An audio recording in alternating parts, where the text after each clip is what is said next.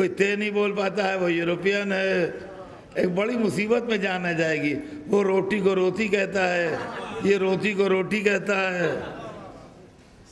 समझे आप? परेशानी होगी। उनको जबान सीखने में बरसों लग जाएँगे।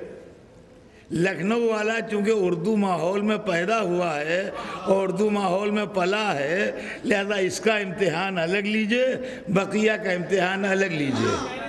लिहाजा अली को उम्मत से न मिलाइए।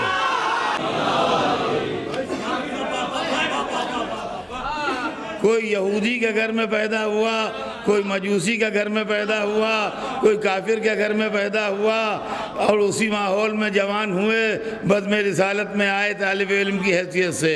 अली खुदा के घर में पैदा हुए मोहम्मद की गोद में। सलावात भेज दें।